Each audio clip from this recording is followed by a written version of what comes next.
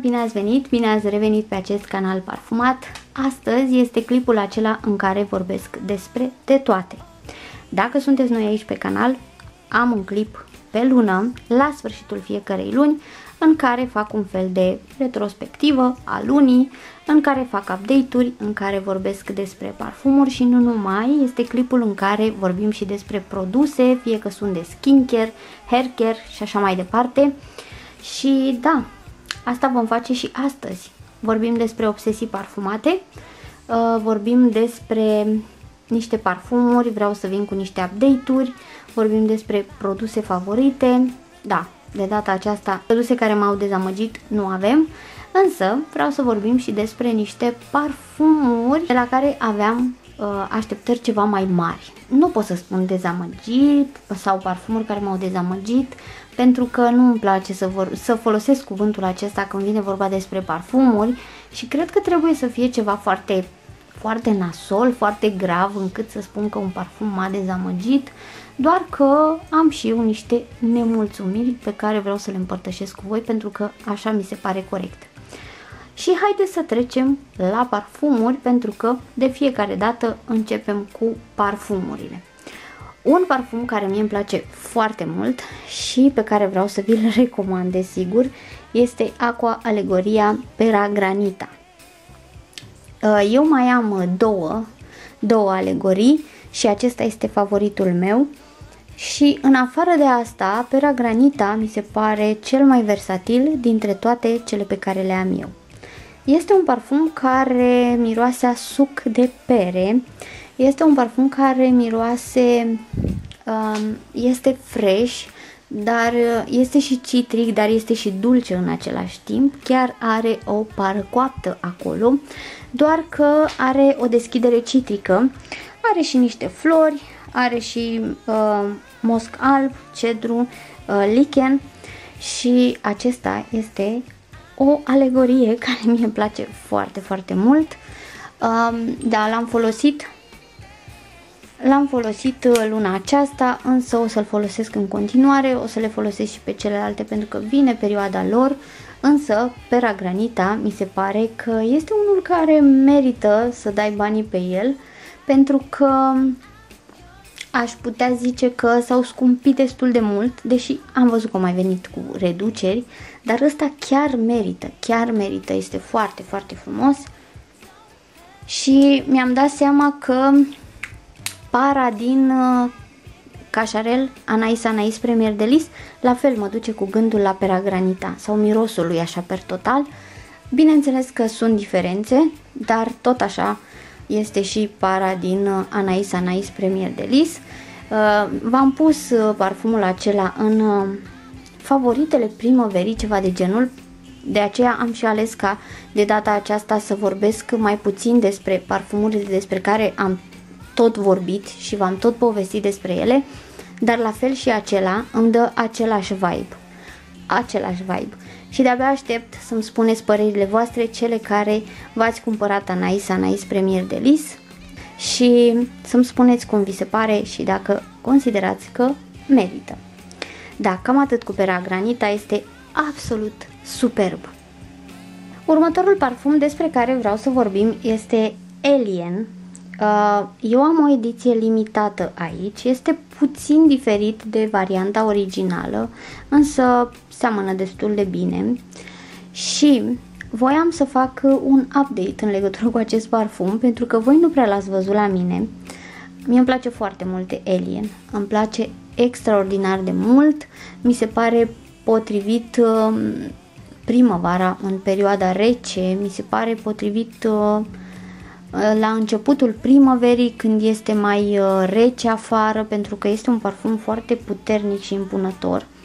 Dar voiam eu să vă spun că nu prea l-ați văzut la mine pentru că mie mi se pare că parfumul acesta cere cumva un eveniment și o ținută și nu pot eu, adică nu că nu se poate purta oriunde și oricând aveți voi chef, doar că eu simt nevoia de o ținută și nu prea îmi vine să-l port așa oriunde. Deci nu mi se pare cel mai versatil parfum, dar este un parfum care te îmbracă, Este un parfum foarte, foarte frumos și v-am zis impunător, puternic, persistent, nu mai zic, iar sticluța aceasta este de colecție și este foarte frumoasă.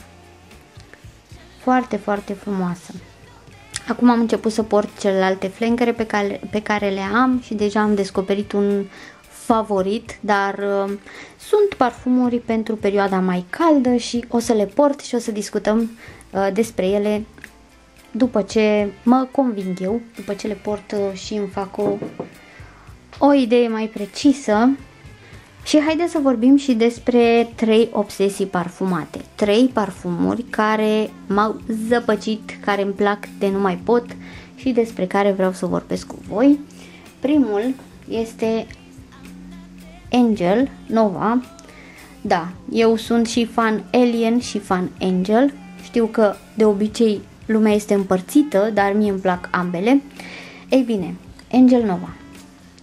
Angel Nova este absolut minunat și îmi place foarte mult acum, acum, când nu este nici prea cald, dar nici prea rece. Um, este dulce, este lemnos, este, se simte acel um, lici, este fructat, este plăcut, deci și foarte persistent și puternic, dar îmi place de nu mai pot parfumul acesta, chiar este foarte frumos și l-am tot folosit, l-am cumpărat în perioada rece, dar nu mi s-a potrivit atunci, cred că da, mm, nu știu, toamnă sau iarnă, oricum era frig și acum mi se pare că este foarte bun, o să-l port și în perioada caldă să văd cum se comportă, însă este un parfum minunat acesta și cred că o să insist și cu acesta foarte mult pentru că îmi place mult de tot.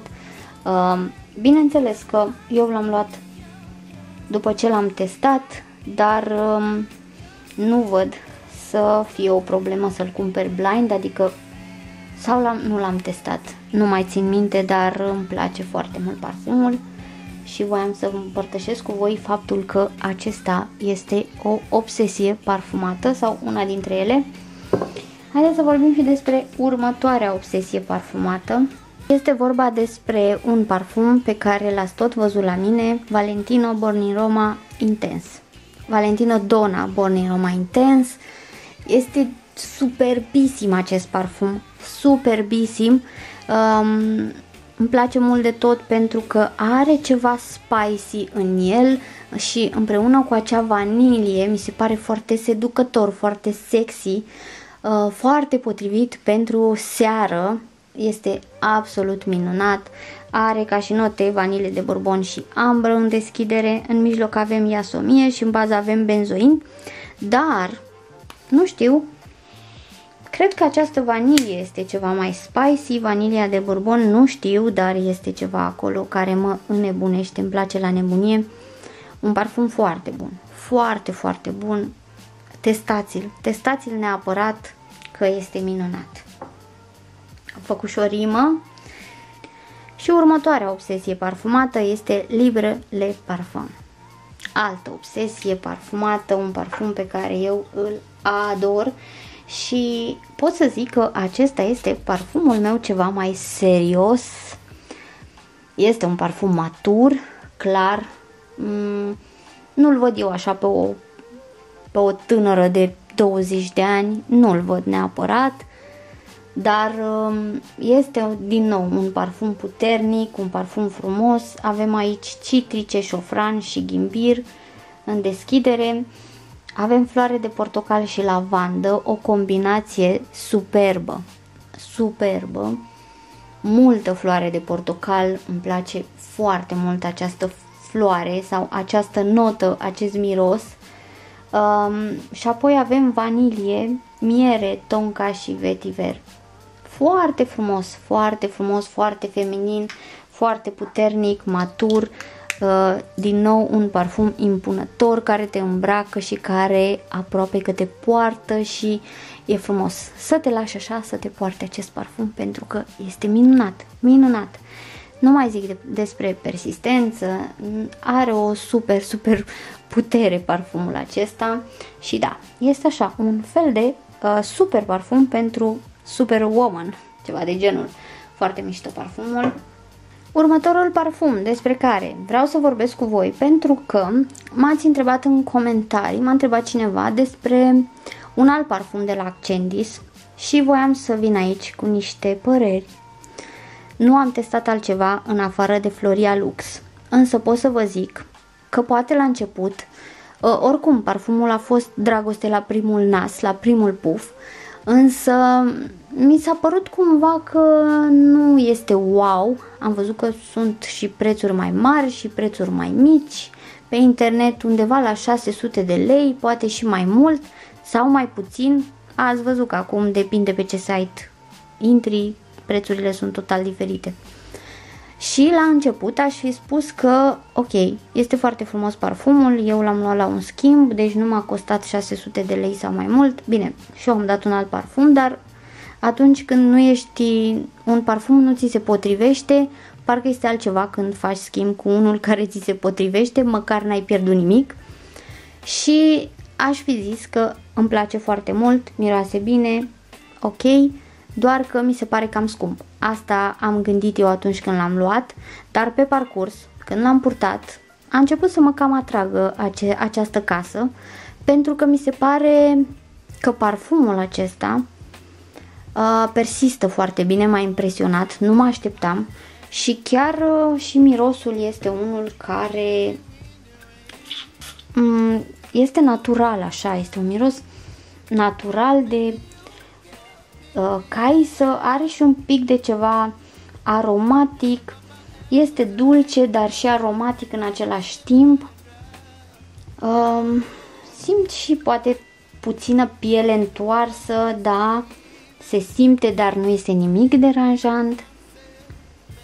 Uh, mă duce cu gândul la parfumul de la Micalef sau la parfumurile de la Micalef, cam în zona asta mă duce. Asta ca să vă faceți voi o idee așa, mă duce cu gândul la parfumurile de la Micalef, mă duce cu gândul și la Ananda Dolce, doar că acolo avem o piersică, acrișoară, dulce acrișoară, zemoasă. Avem și aici ceva care mă duce cu gândul la piersică, această caisă, dar avem și um, aici nu este atât de acrișor parfumul, este mai dulce, dar uh, cumva este balansat de acele note uh, aromatice și da, e o combinație interesantă și purtând acest parfum mi-am dat seama că mm, nu este așa cum, uh, cum am crezut eu la început. Este un parfum care chiar își merită banii și uh, aș vrea să mai încerc și alte parfumuri de la Accendis. Nu prea știu multe despre casa asta, dar o să mai aflăm noi pentru că văd că încep să iasă la iveală această casă. Următorul parfum despre care vorbim este acest Amerat al Exas. L-ați văzut într-unul dintre holurile mele și mi se pare normal să vin și cu update-uri și de data aceasta vorbim despre acest parfum arabesc, Amerat al Exas. O să vă scriu denumirile pe ecran și uh, Uh, denumirile produselor și ale parfumurilor, haideți să vorbim despre acesta. Uh, dacă era o cantitate mai mică, arăta și el mai bine, dar așa este foarte mare parfumul. Bine, nu este ceva rău, mai ales când îți place un parfum, dar uh, ce vreau eu să vă zic despre acesta?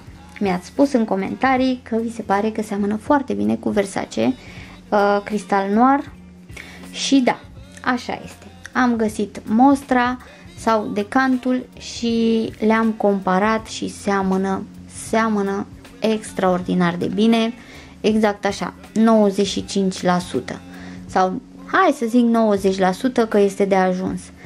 Ce am observat eu uh, că Versace Crystal Noir este ceva mai profund în bază, ceva mai plin, uh, ceva este diferit acolo dar per total seamănă foarte bine. Nu mă dă pe spate și v-am mai povestit eu că am avut parfumul în colecția mea uh, pe Versace, l-am avut și l-am dat la un schimb sau nu mai știu care a fost faza, dar l-am dat pentru că nu mi se prea potrivea și v-am zis eu că o să caut acea mostră, să-l uh, testez din nou și să văd cum este din nou. Nu că nu mi se potrivește și nu că nu-mi place, pentru că îmi place cum miroase, dar nu întind mâna după el pentru că pur și simplu nu este chimie. Nu-l înțeleg eu prea bine, dar acesta o să rămână în colecția mea pentru că vreau să-l port. Și vreau să mă obișnuiesc cu el și vreau să văd dacă întind mâna după el, dar da, seamănă foarte, foarte bine cu Versace Crystal Noir. Următorul parfum despre care vorbim este acest Jimmy Choo Flash. Ei bine, am uh, cumpărat-o parțial, am avut câțiva mililitri, mai am în el, dar uh, trebuie să vă spun că aveam alte așteptări de la Jimmy Choo Flash.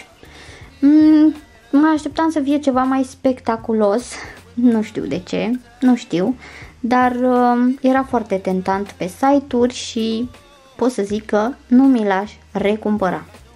Sau nu mi l-aș cumpăra pentru că a fost pentru al testa. Are ca și note, are și uh, căpșună, căpșună mare, Big Strawberry, uh, piper roz, are niște citrice și în mijloc avem flori albe. În bază avem heliotrop și uh, lemn alb. Da, nu este foarte lemnos, este foarte pudrat. Mă așteptam ca deschiderea să fie ceva mai uh, luminoasă, ceva mai efervescentă, ceva mai dulce, dar nu. Deci simt așa piperul roz, o deschidere cam mm, me, să zic așa, dar per total este un parfum pudrat, pudrat, lemnos, cremos, un lemn așa mai cremos, mai și are heliotrop, vă dați seama, da, nu m-a impresionat parfumul acesta, am zis să îl port să văd cum este, aveam așteptări mai mari, nu este un parfum urât, nu este un parfum rău, doar că aveam alte așteptări și bine că nu am luat o sticlă mare, pentru că și acum este la reduceri pe mai multe site-uri, nu. Uh, bineînțeles, testați-l pentru că poate vouă vă place. Următorul parfum despre care vreau să vă povestesc puțin este Miss Dior Blooming Bouquet Eau de Toilet.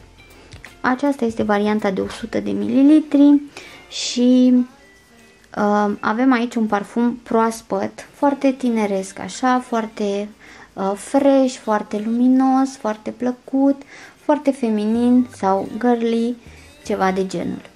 Da, este un parfum care miroase bine, este foarte potrivit, îl văd eu potrivit vara, pentru că este foarte proaspăt.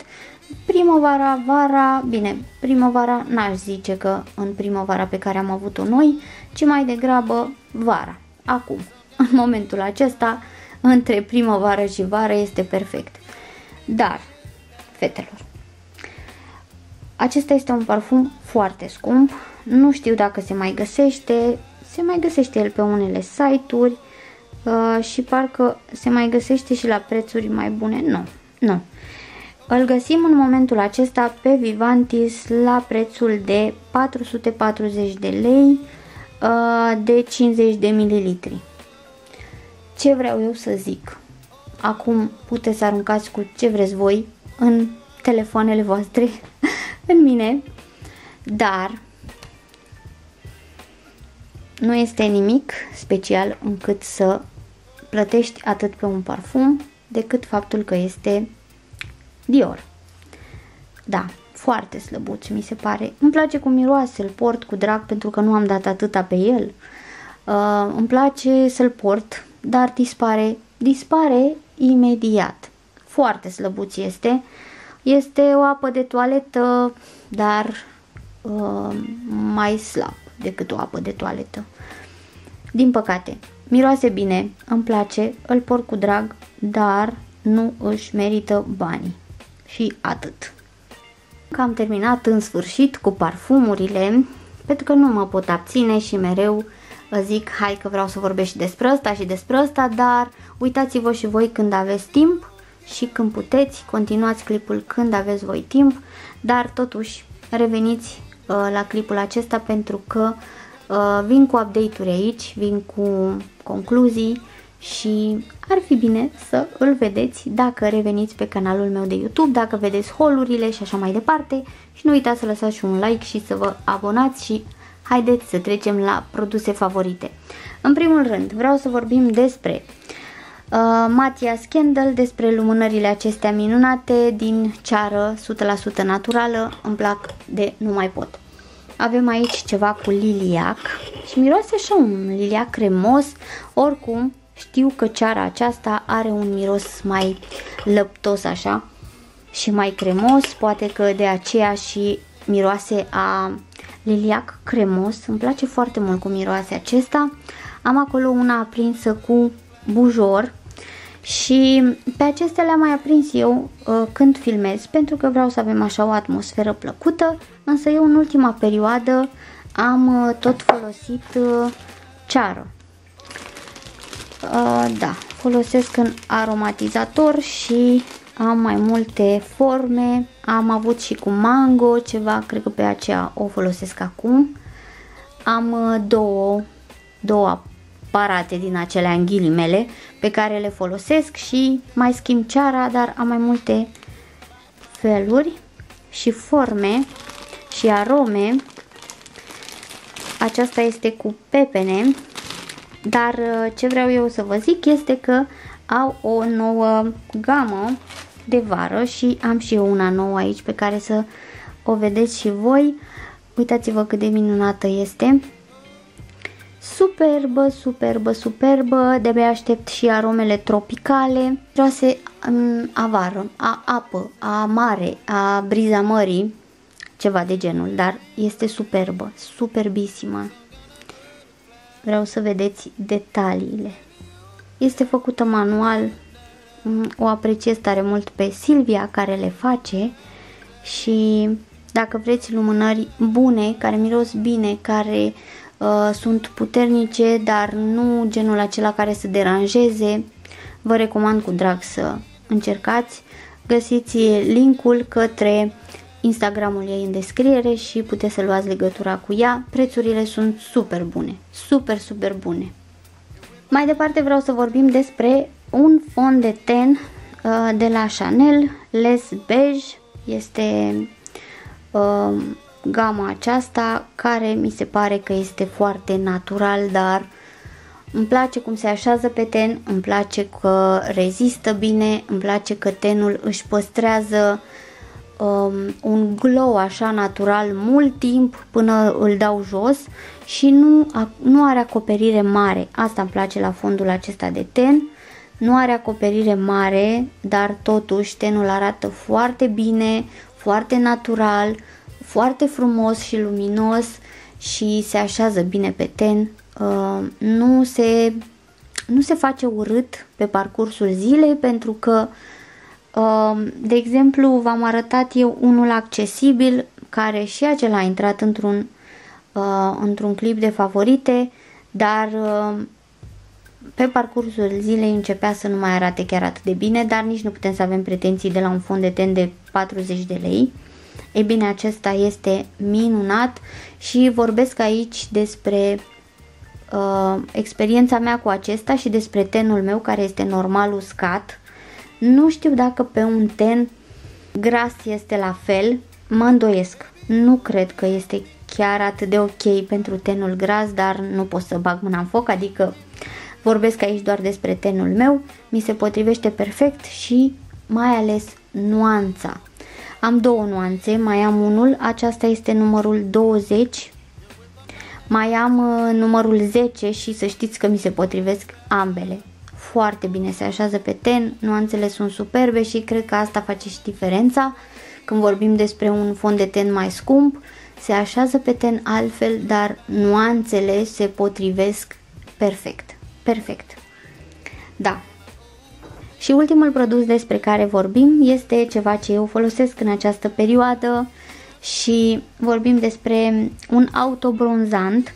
Mai am niște produse tip spray. Aceasta este o loțiune. Nu am folosit până acum spray, dar asta se numește fenomenal și este mediu. Ce vreau eu să vă spun este faptul că eu folosesc în fiecare cam așa, prin luna mai încep să folosesc autobronzant pentru că nu pot să ies cu pantaloni scurți sau cu rochii cu pielea mea albă, dar nu albă, prea albă. Și atunci folosesc autobronzant și așa scap de stresul de a mă bronza pentru că oricum nu-mi place să stau la soare și folosesc chiar și înainte să mă duc la mare. Ce vreau să vă zic despre autobronzant este faptul că până acum foloseam uh, uh, autobronzant cu bronz treptat, așa, care la prima utilizare nu prea se vedea cine știe ce, de-abia de la a doua începea să se vadă, deși erau niște branduri foarte bune. Acesta este mediu. Am luat direct mediu și îmi place că se vede de prima dată un bronz frumos, foarte frumos și uh, aș putea să nu-l mai folosesc o perioadă, dar scrie că ține vreo 2-3 săptămâni și e ok. Acum dacă vreau să mă bronzez și mai tare pot să-l mai folosesc o dată, însă mie îmi place așa. Folosit o dată și când începe să dispară îl mai folosesc sau îl mai întrețin cu o loțiune care nu se clătește de la uh, ceva din DM. Tot așa o loțiune autobronzantă care folosită singură greu îți dă bronz, dar pentru întreținere este ok. Acum nu intru în detalii cum se folosește autobronzantul, însă vreau să vă spun că eu până acum nu am avut o mănușă pentru autobronzant și am aflat acum că este cheia succesului. Da. Mi-am cumpărat o mănușă de pe Notino și arată așa. A, așa este interiorul, cumva te protejează să nu-ți pătezi mâinile pentru că pe mâini, de exemplu, autobronzantul se folosește la sfârșit și foarte puțin, adică rămâne în cutele acestea de la degete și este nasol. Nu. Oricum mai rămâne el, oricât de bun ar fi autobronzantul mai rămâne, însă mănușa este cheia succesului unui autobronzant folosit pentru că mm, este foarte moale, întinde foarte bine autobronzantul și uh, îți ușurează munca pentru că anul trecut m-am gândit ce-mi trebuie o mănușă, pot să folosesc o mănușă din aceea uh, de unică folosință, dar este altă viață. Vă spun pentru că am folosit mult timp autobronzant fără mănușe și mi-era foarte greu să-l aplic. Uh, era un chin pentru mine, dar acum totul este mai ușor cu o mănușă. S-a nimerit să iau tot de la Vita Liberata pentru că cei de la Notino au avut transport gratuit și am luat și una. Mm. Am dat 30 de lei pe ea. Atât a fost mănușa aceasta și este super, super bună. Am folosit-o, am spălat-o și uitați-vă că este ca nouă, adică nu, nu i s-a întâmplat nimic și este deja utilizată odată. Asta a fost clipul de astăzi, sper că v-a plăcut, vă mulțumesc tare mult dacă ați rămas până la final pentru că a fost ceva mai lung. Și spuneți-mi și voi în comentarii ce produse ați mai folosit și v-au plăcut foarte mult, produse favorite, spuneți-mi și obsesiile parfumate. Și dacă vreți să-mi spuneți ce parfum vă face să vă dați ochii peste cap atunci când îl mirosiți. Am văzut întrebarea aceasta pusă pe niște grupuri și voiam să vă întreb și eu pe voi și să vă răspund și eu în perioada asta este nova. Și o să închei acest clip. Vă mulțumesc pentru vizionare, nu uitați să vă abonați, uh, să-mi lăsați și un like, să nu uitați despre asta și noi ne vedem în curând cu un video nou. V-am pupat! Pa, pa!